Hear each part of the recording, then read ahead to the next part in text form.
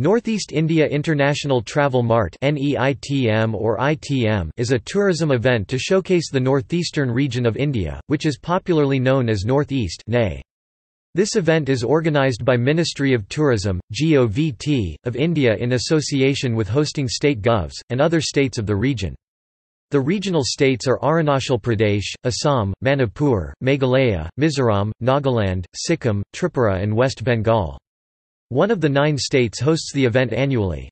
ITM had taken the first step at Sarusajai Stadium, Guwahati in January 2013 thereafter three states hosted the event.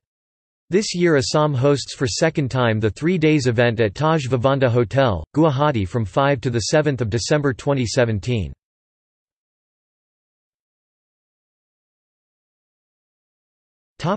Events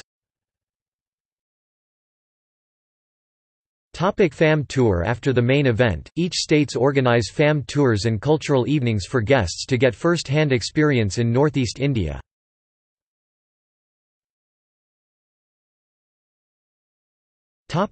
See also.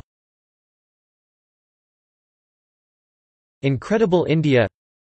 Assam TDCL